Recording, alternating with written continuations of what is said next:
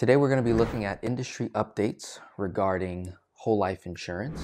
We'll look at two life insurance companies that I personally have policies with in terms of their dividend rates, guaranteed rates, policy loan rates, and then certain things that have been occurring in the industry in the infinite banking space as a whole and some things that I see happening that I feel like you should be aware of as a potential customer or if you're already an existing client customer and you've been taught a certain concept or strategy in terms of how you are using your whole life insurance policy. If you're a client of mine, you've been working with me personally, and maybe you worked with someone else for your life insurance. So let's say you're a client and I'm coaching you on your personal finances, right? And we're paying off debt and we're building credit and we're leveraging the HELOC, the PLOC, the credit cards, and we're creating cash flow, building our vision and our dreams and goals for financial freedom. But either before our relationship started or maybe after you worked with another agency so maybe you, maybe you didn't work with me directly but you worked with maybe one of my partners or one of the other content creators in the space that teach infinite banking or just becoming your own banker or whatever the marketing term is that uh, influence you to purchase a whole life insurance contract that's one thing there but then there's the second kind of philosophy ideology is once you do have a life insurance contract in place and you're building cash value, how you go about using that policy, right? And so there's a, a problem that has been really brewing up over the years that I definitely want to address. And I think I have a unique perspective here because I'm someone that actually tested it and can show you what, what the results have been.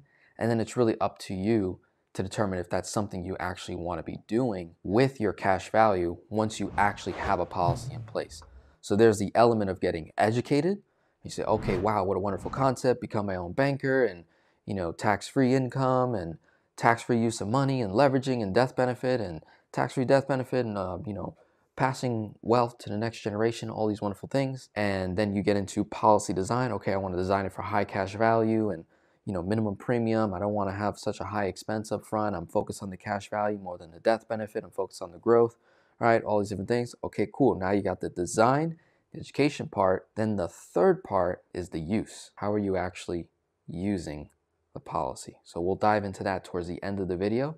For now, we're going to take it to the whiteboard and look at some industry updates. And I just figured let me just pull two of one of the most popular insurance companies that get used to purchase whole life insurance that then is designed in a particular way for high cash value performance, leverage, etc., etc. So again, I personally have policies with mass mutual and Guardian. And for the most part, most of my clients also have mass mutual and Guardian.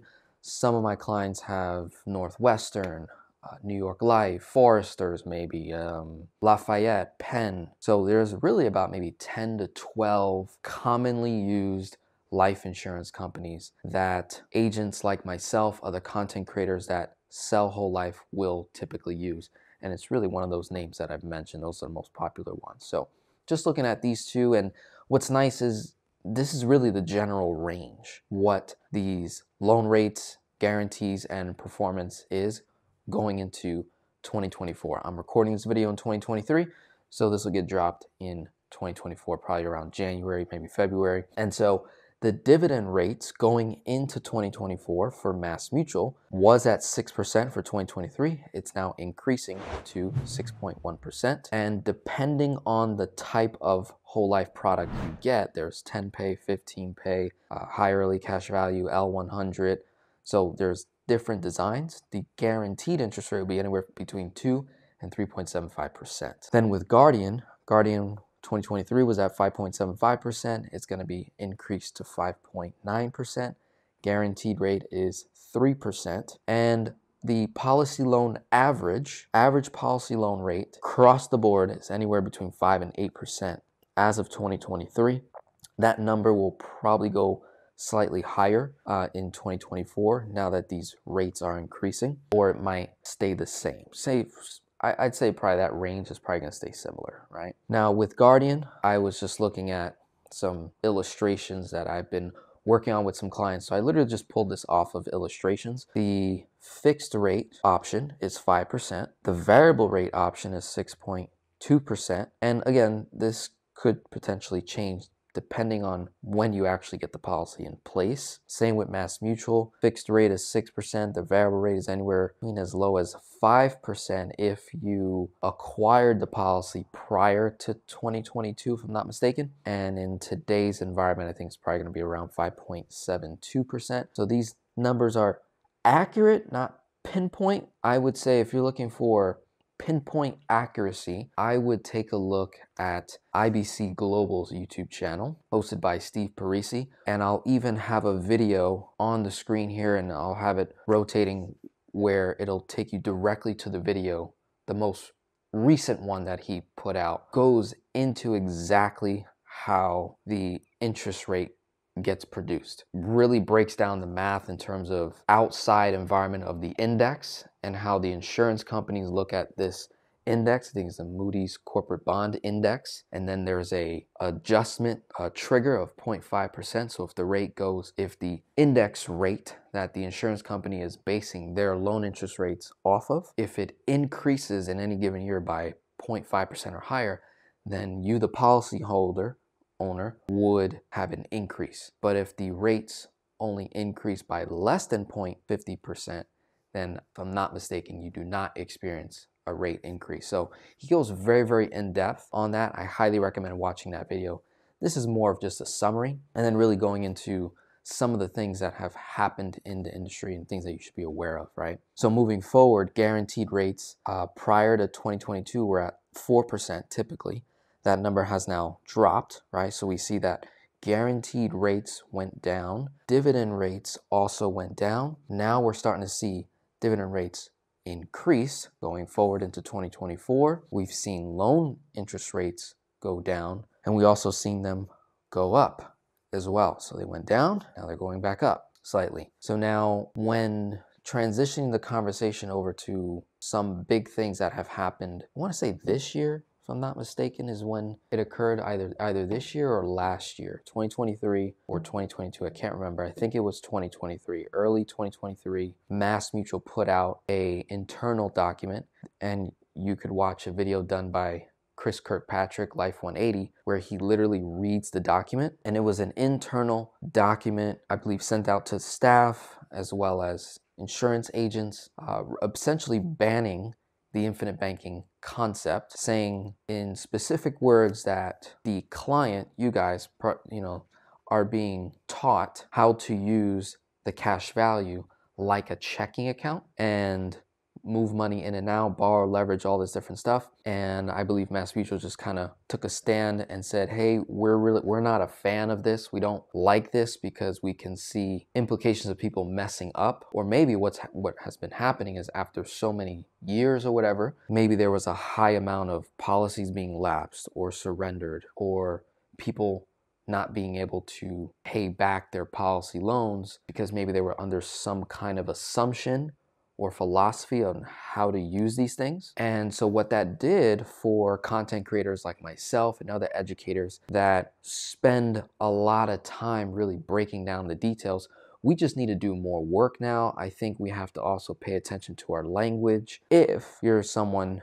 that is using Mass Mutual as an option to provide to your clients. So, this isn't every life insurance company banning infinite banking. In fact, there are life insurance companies, I would say, like Lafayette or Ameritas or even Penn, if I'm not mistaken, that are actually pro infinite banking. So you have a major mutual life insurance company that relatively large that actually participates and collaborates with other content creators on the infinite banking concept, actually promoting, actually helping the insurance agent when they're designing policies and they're talking to the staff, to the to the insurance company directly, there's support there. Whereas with a mass mutual, there would be no support if you're using that kind of language, right? So it's it's really I think it's a language issue going on and there's also a philosophy which I think is the main problem behind all this is really Infinite banking is a marketing term and it's used to sell, right? To to gain attention on a very boring kind of a product, whole life insurance, right? It's kind of boring. So marketers like myself, content creators like myself, salespeople like myself will come up with terms that are very attractive to the eye. Infinite bank, become your own banker, cash flow banking, dynamic banking, uh, bank on yourself, tax free banking, positive arbitrage, right? All these different marketing terms. It has its pros, has its cons. I have used probably all of these terms at least once before in terms of providing the education and then also letting people know at the end of the day, this is what they're saying whole life insurance for the most part, right? I think what is going to happen is we may see more regulation coming soon for insurance agents in terms of how they market. And the, the big issue is the the concept in theory is, is amazing. I think it's it's awesome. and I've been able to experience it for myself and actually get results. But what happens is there's misrepresenting that that goes on. So mi misrepresenting the concept of leveraging cash value can cause harm for policy holder, holders, resulting in lapse or surrendering or canceling policies because then they hear that infinite banking is a scam or something's wrong with it or it's not going to work or they get cold feet or they get buyer's remorse because they got their policy designed a certain way thinking it would do a certain thing and then it's not doing that certain thing. It really messes things up. But i think under under that the even bigger problem is this this word right here the positive arbitrage myth i believe is the main problem here. And the, and the idea is the agent educates the client hey you're going to be earning 6.1%, 5.9%, and you'll have a fixed rate of 5%. So, you know, let's use Guardian for example. Let's say you buy a policy, this is your dividend rate, 5.9%, and your fixed loan interest rate is 5%. So, Denzel, if you, you know, pay 10,000 a year into a policy and this is what you're earning on your 10k, right? Or let's just say of the 10k you put in, there's 7,000 in cash value day 1. That 7,000 is going to earn 5.9%. And if you decide to borrow, guess what? You borrow at 5% and you're going to create a positive arbitrage of 0.9%. So sometimes that, and comment below if you've actually experienced this with an agent, if they said something like this along, along the lines, like if they said something like that. If we actually ran the math behind that, we may come to find out that in fact, I am not earning 5.9% net. This is 5.9% gross. Gross is very different from net. In fact, in the very first year of say starting a policy where you dump in 10 and you have 7 in cash value technically you lost 30% of your starting capital right? So there was a 30% loss there. Now on the 7000 you're earning this dividend rate of 5.9% gross but the net could be a negative rate of return even though say the money grew to 7000 $100 or $7,200 or whatever the number is, that's not 5.9%. So there's misrepresentation going on when the client is being educated on how they can borrow this 7, go do something with it and earn a say 5% rate of return somewhere. ROI. So they're going to borrow a portion of the 7. Let's say they borrow 6,000 to earn 5% somewhere, right? Whatever it is. Let's let's let's run those. Let's run that. So 6,000 times 5%, it's only $300. You have to minus any fees that occurred to acquire that 5% investment and taxes and the amount of time it takes to say get that 6k back like what if it was 6k that's locked up when does it get released right after so many years or after one year how, how what is the timeline right? You make three on six this 6k you're being charged 5% $300 and the agent says you're going to earn 5.9% on the 7 so 7000 times 5.9% $413 so that may be the math that they're running and they say positive arbitrage of $113 which is that's not true because even if you earned this 413 where does that 4 turn where does that $413 go you don't pay the $300 interest charge from the policy loan out of pocket. So on year two, year two, you go to pay in 10,000 again. Mind you, you have a $300 interest bill. If you don't pay that $300 from the 10,000, the insurance company pulls it from the 413. If you actually even got 413, we just got done saying you're not actually even going to get 413. You're lucky you get $100 in the first year, right? Because it's a it's a negative return after you put the 10 in. It's going to take multiple years just to break even. So that that's a huge problem right here. So what's happening is, I think, content creators like myself, make shorts, make videos. People take things out of context. It's on both sides. It's the client, it's also the agent.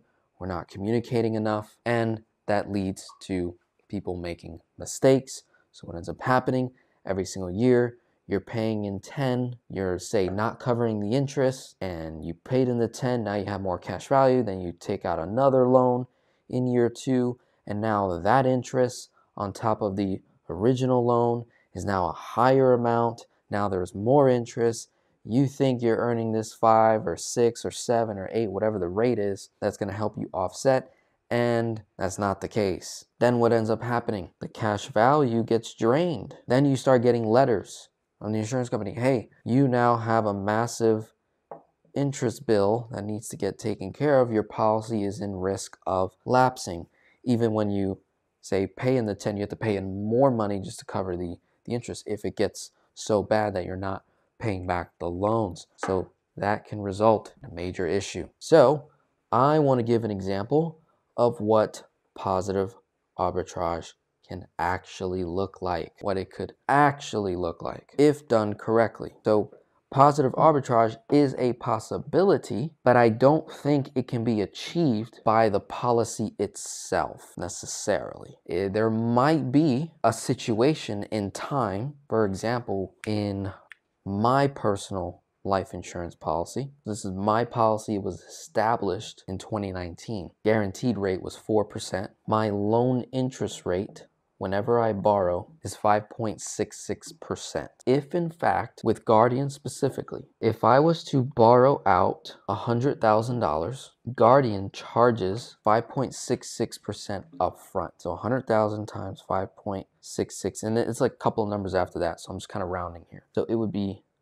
somewhere around this number is what I would I would get charged by Guardian upfront. They bill the interest up front, right? So it's simple interest amortized annually up front. If you pay that out of pocket up front, you receive the discount. So it's a discounted interest rate of 5.66. The actual interest rate is 6%. If you wait and do not pay the interest, then you end up paying $6,000 on the 100,000, right? So what I do personally is I borrow the 100 and then I immediately pay the 5,660 up front. So now I get a discount on the interest. Now, in addition, the insurance company Guardian, a direct recognition, so it's this is the direct recognition policy loan that I'm doing on the 100 grand. And the crediting rate, if I'm not mistaken, is 6%. So on the 100 grand, they're going to credit me $6,000. But here's the thing in order for this to actually create positive arbitrage, I need to pay this out of pocket, not from the policy. Okay, that's important. So I'm actually gonna pay that out of pocket upfront plus what did I do with the hundred grand? Now, what I do personally, what I have done in the past, done a couple things in the past where I might have run some expenses through here, might have financed something through here. Okay, um, but some, but what I like to do where I get the highest return is I take that hundred grand and I put it into business. I put it into my business to generate more income. So let's say I spend money on marketing. Let's say I spent $100,000 on marketing in my business and that resulted in income 300 grand. So I spent a hundred and I made $300,000 in my marketing strategy for my business. Business has products and services that it sells, and then it generates a $300,000 return. So that is I 3x'd 100 grand. So that, that's much better form of positive arbitrage where at the same time, now that so I have a new I have a new 300 grand here and obviously, you know, minus taxes, right, and all that that comes with it in the business. But you and then minus expenses, right, all that that comes with having that kind of a revenue. That 100 grand is still earning that crediting rate, right?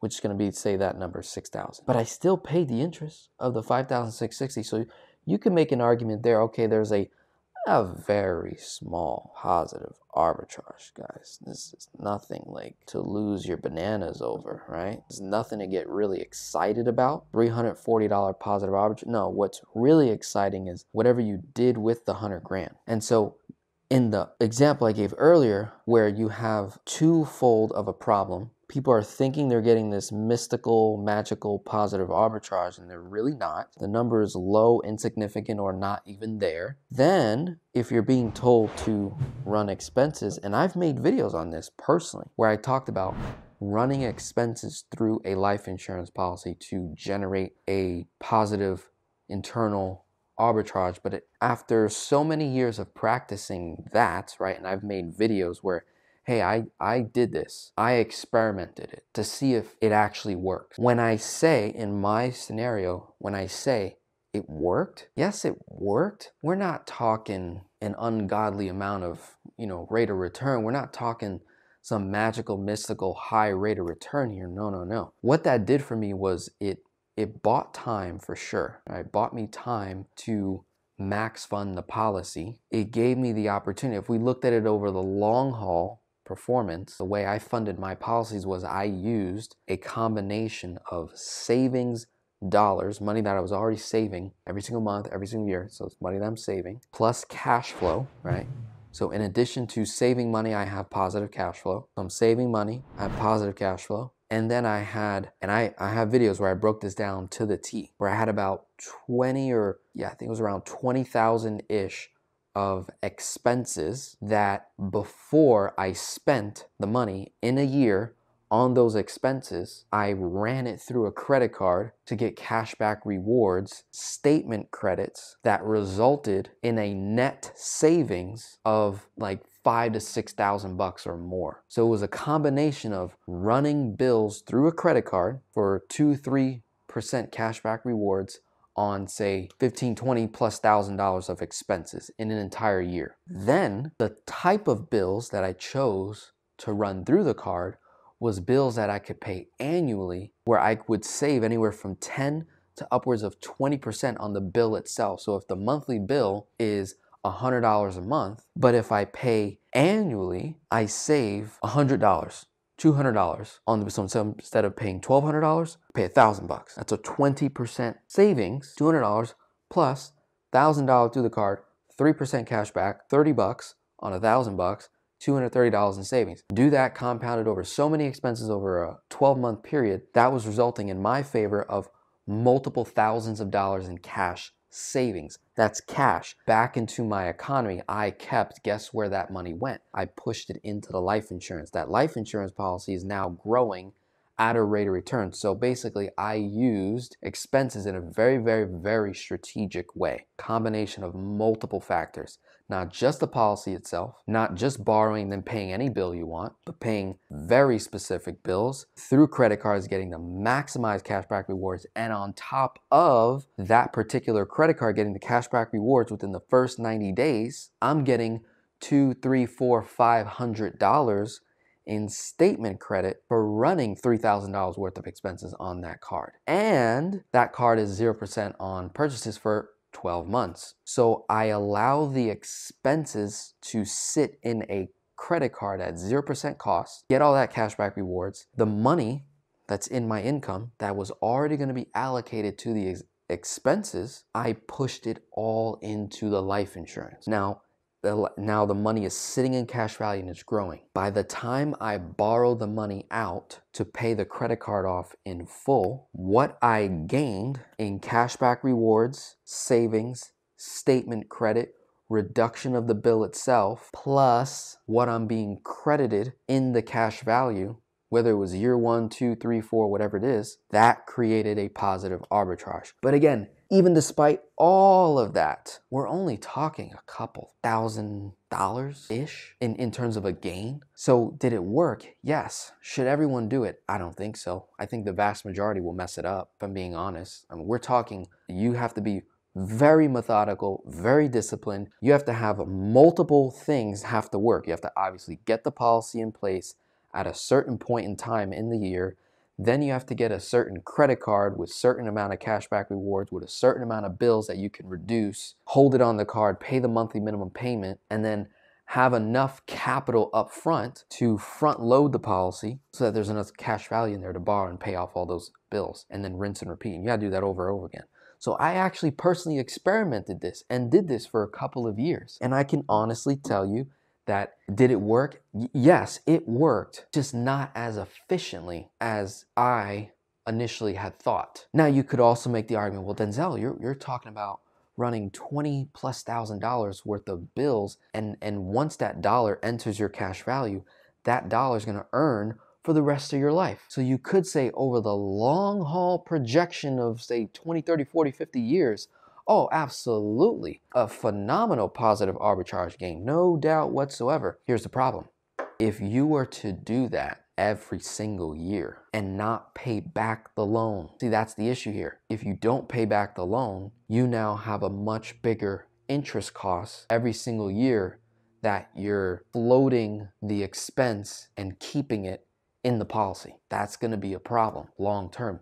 So, what I do is I bought time in the early years to get that max funded dollar amount in there as my income grew. Because not only did I borrow just to run bills, but I also borrowed to invest in the business and grow the income and grow my knowledge and, and education. Now more income is coming in. I no longer need to do that.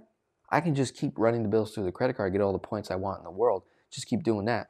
I don't have to keep pulling to cover expenses. So eventually I pay down the loans, I pay down the interest. I always pay the interest up front out of pocket, not from the insurance policy, not from the cash value, because that'll interrupt the compounded growth. And then that's where you get these problems. So we're talking about we're talking about 7 to 10 levels deep here on running bills through a policy, offsetting the interest cost, creating a positive arbitrage. Can it be done? Yes. How are the results? Not as great as if you would have taken that money and say invested it in your business, try to increase your income, try to take that money and actually increase the top line rather than the bottom line, you're going to do a much better job increasing, I would argue, okay? But if you were to do what I do, it's you're you're trying to solve for a particular issue circumstance for a temporary period of time. It's not a permanent strategy. So running your income through a policy and then living out of the policy is not a permanent strategy, in my opinion. It's not a wealth building strategy, in my opinion. It's a buying time type of a strategy, buying you the time, buying you the insurance, buying you the, the max funded, getting able getting to that max funded amount if you don't have the capital or cash flow. Now you're leveraging debt or you're leveraging expenses to do a thing, and then you're getting two uses out of the dollars but that is not a long term play. So I'm someone that actually did that to prove that, hey, it doesn't really work like they're saying. As a content creator, educator that has done it, practice it, I'm saying, hey, this is probably this isn't your get rich, get wealth, get very wealthy plan here, permanent strategy. I don't recommend running all your income or majority of your income through a policy, borrowing out to pay bills and live off of it that is not a long term play. It is a short term play. And if you go back and watch my videos, you'll see me touch on that. Where I'm like, you know, eventually we want to invest, make more money. You want to buy whatever time you want to buy right now because you're trying to start early, let's say. You're trying to lock in that health benefit now. You're trying to lock in, you know, a, a properly designed policy younger and get a higher MEC limit and you're trying to max fund it to, to get as much money in there growing early in the early years so that in the later years you really start to see the compounded effect. That's only going to work if you what? Increase the income so that you can eventually pay back the policy loan, pay the interest, and continue to max fund the policy, right? So in my example here, if I'm borrowing 100 100k and let's say my max funding amount is 70,000 a year, right? Like that's that is my number that I pay into my Guardian policy every year is 70,000 bucks. So I need to have the 70 plus the loan interest, whatever I carry in that year, 5,660. And I need to pay that out of pocket plus max fund to continue to have that positive arbitrage. And even then, the number's not that crazy internally. It's the external I'm all about. What did I do with the 100? How efficient was I with the 100? And I'm here to tell you that if you're running bills through your policy, running expenses, and you're not doing the other three to four elements that I incorporated with the credit card and the cash back rewards and the statement credits and, and then the 0% for 12 months, paying the monthly minimum. If you're not doing none of those, you're under an illusion. You're what my fiance says, delulu. You're being delulu. You're not running the math properly, and you need to run the math more efficiently, more effectively. So that is for you, the customer. For the agent out there that is a new, you're starting to create content, you're getting yourself out there, you're building a following. Run the extra math behind it, right? Let's not let's not get ourselves in trouble, right? So I've always been a person that loves to run the math, and then even then, I create I create uh, overestimations where let's say the loan interest rate, the fixed rate regarding is is is five percent. Like typically, what I do is I will underestimate the internal rate of return on the cash value. So I'll intentionally lower it to see if there's positive gain in, in a worst case scenario. And if there is, then I'm like, well, for sure, it's going to do better than what I'm illustrating. And that's usually what I do with my velocity banking case studies, my infinite banking case studies. I'm always making it look worse than what it is. And then an actual application turns out to look way better, right? So this has been a very, very in-depth video. Hopefully it was very valuable for you. Subscribe, check out those two videos I mentioned with Steve Parisi regarding the dividend rates and loan rates. Then check out Chris Kirkpatrick's video with the Mass Mutual and you know his thoughts on that. I thought it was a great video. And if you are someone that is looking to incorporate a whole life insurance policy in your wealth building strategy, protection, building assets, you want to leverage, you want to do these different things, you want to combine Velocity Infinite Banking, become your own banker, you want to do all these wonderful things, you can click the link below to get a hold of Steve Parisi and his team. That's who I use for my insurance. You can also get a hold of Caleb from Better Wealth and just mention my name. He has an awesome team, and you can click the link below as well. So I'll put it in the comments of both of those individuals that you can reach out to, just giving you the options. Or if you want to work with me directly, you can also make that request as well by filling out a contact form, getting hold of me, emailing me directly, and we'll make it happen, right? So my name is Denzel Rodriguez, personal finance geek of the 21st century. Have a wonderful day. God bless. We'll be talking soon.